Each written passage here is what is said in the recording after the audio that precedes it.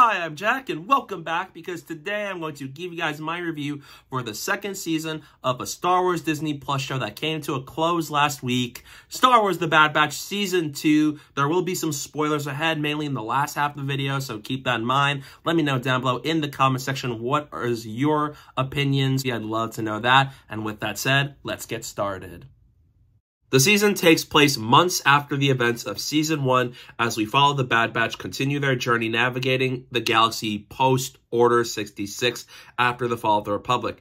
They will cross paths with new allies, new enemies, as they take on new missions and get caught up in a conspiracy revolving around the clones. I'm going to go straight to the point with this one. Star Wars The Bad Batch Season 2 is a tale of two halves for me. There's the first half of the season, which was pretty mediocre and one of the worst first halves I've ever seen to a Star Wars TV season in general.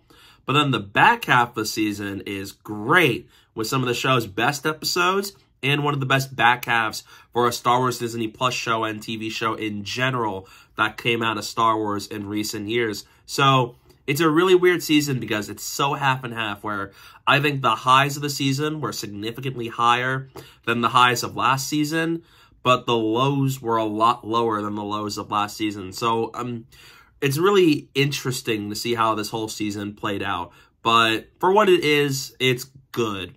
I liked the voice acting once again by Dee Bradley Baker. He really plays all these clones so well with a distinct voice, distinct personality and how they play, play off one another is very good and compelling, and he does another fantastic job yet again.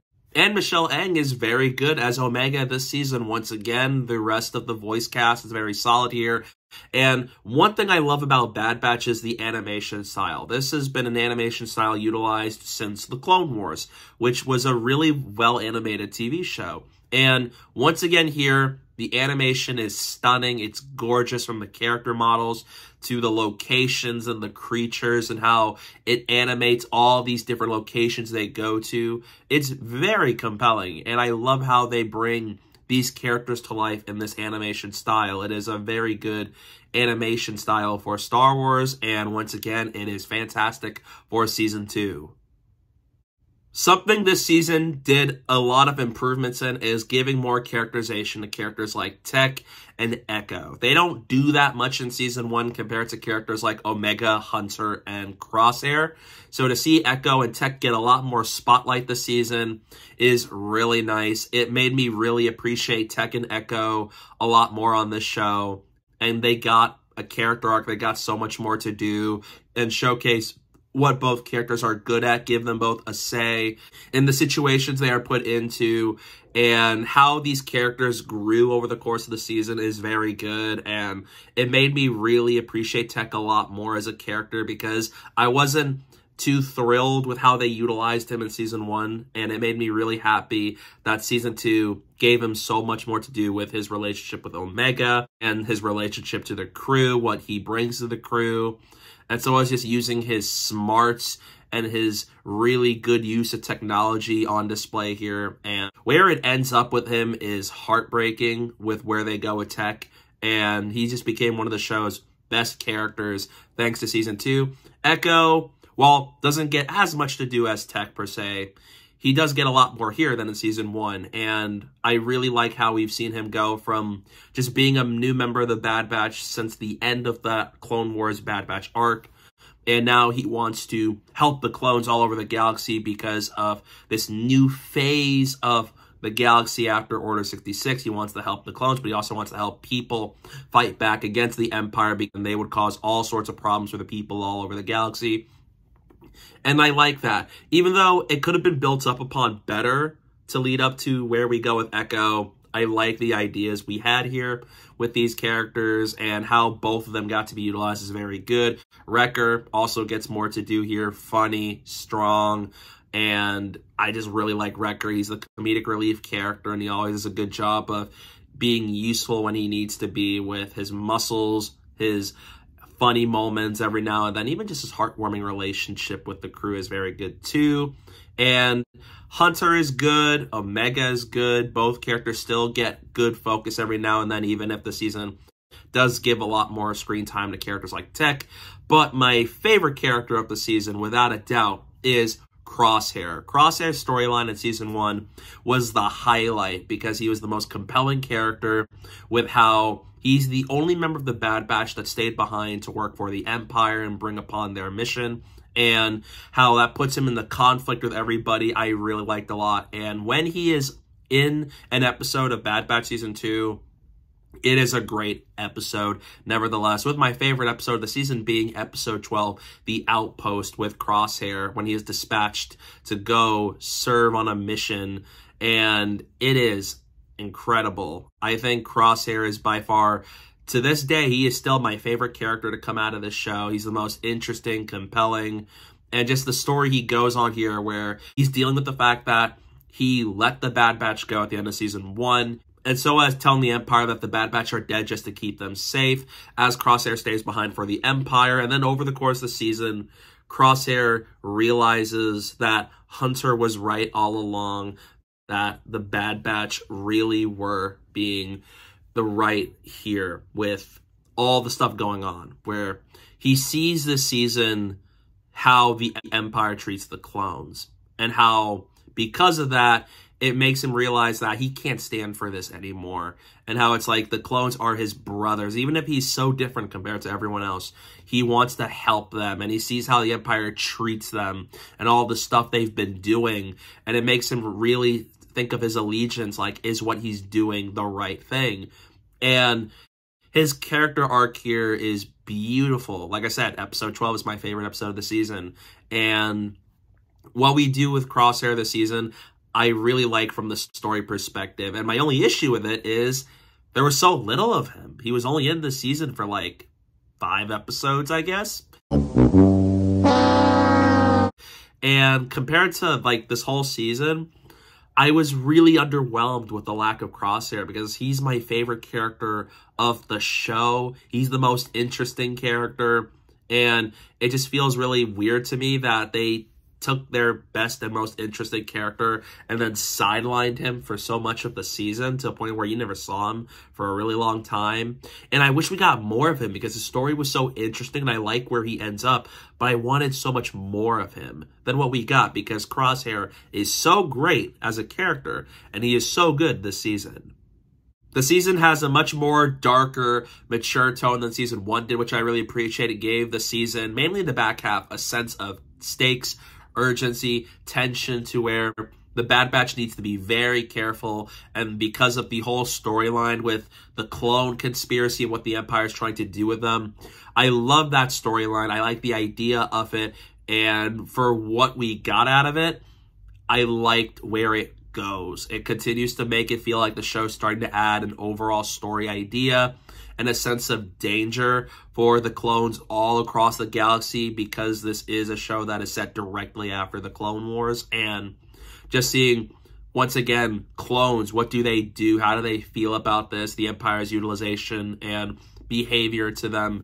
And some of the show's best episodes were all involved in the clone conspiracy storyline where politicians, people in the galaxy are trying to figure out what's going on with the clones, whether it's on the side of the Empire or the clones themselves. And once we got to episode 7 and 8, the season really kicks into high gear with the clone conspiracy two-parter, with the characters finding out what's going on. And from that point on, the season really kicks into high gear. And I really liked whenever the show focuses on it because there's some of the greatest scenes, episodes that come out of the show were all part of the storyline. And where it ends up is tragic. It's a really sad way to end the season considering all that happened throughout the season and in the episodes prior. So it really does take the show in a different direction and a level compared to season one, which a, li- a little bit more lighthearted than this season was. And I'm really curious to see where they go with this in season three because of the cliffhanger it left us on. However, that brings me to my issues with the season, and the first half is nowhere near the level of the back half of the season. It starts off on a really weak note. I wasn't too big on the idea of them kicking off the season with a two-parter Mission of the Week episode, which was fine, but in the long run, it just didn't add anything. And that's what a lot of the first half of the season felt like to me, except for episode three, where it's just the Bad Batch going somewhere for a mission and they have to do something. And then by the end of the episode, they accomplish it. And it was cool to see characters like Gungi appear again.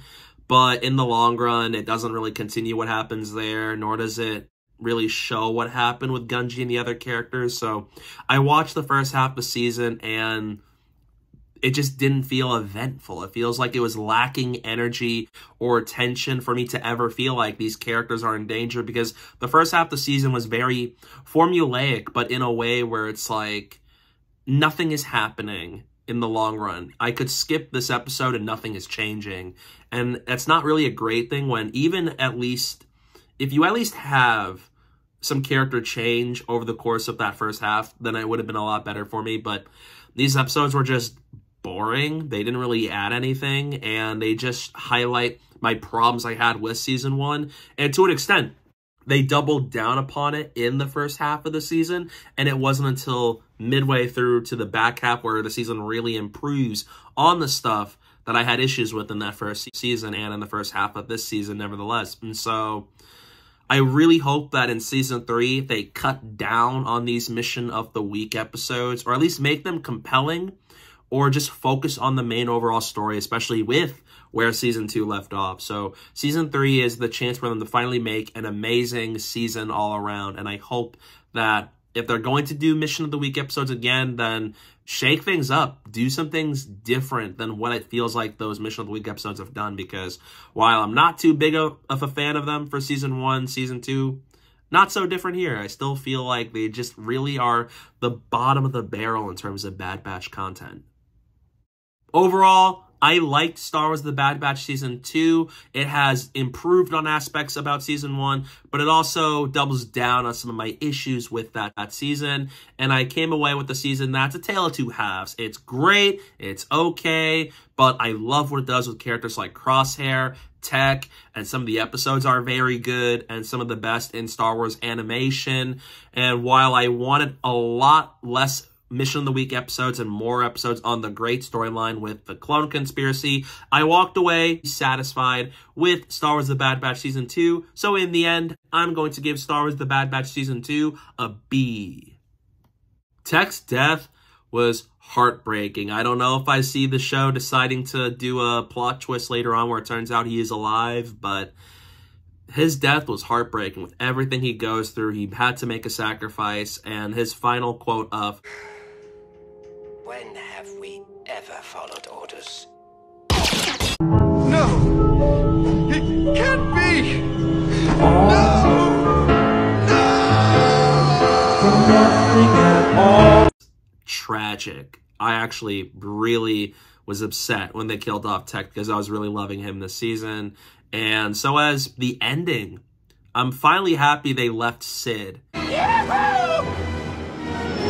But I knew from episode four she was going to rat them out to the Empire at some point, and I knew it was going to happen when it did in the finale. And I hope this means no more Cid because now she became one of the most unlikable Star Wars characters ever. And it just made sense they finally left her midway way through the season. And Omega's been captured by the Empire, and apparently the Doctor is her sister and now she's stuck in the same facility as Crosshair, and now it's Hunter, Echo, and Wrecker.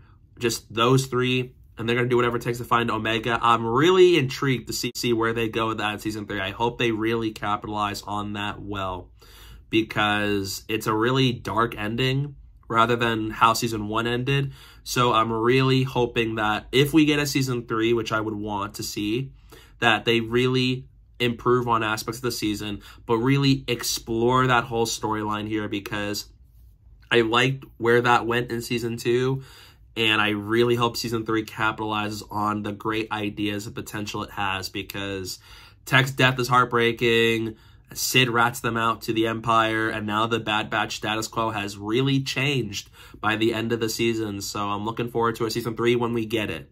So yeah, that's my review for Star Wars The Bad Batch Season 2. What are your thoughts on the season? Let me know down below in the comment section. I'd love to know your thoughts on it. Stay tuned for some upcoming videos I have planned very soon. I'm going to have a review for The Last of Us Season 1 at some point, and soon I'm going to be seeing the Super Mario Bros. movie and Air. So stay tuned for all that fun stuff coming your way very soon. And don't forget to follow me on social media. My username is down below at the bottom of the screen and in the description below. So please go do that while you're at it. And thank you guys so much for watching. And don't forget to hit that like button and the subscribe button. And stay tuned for more.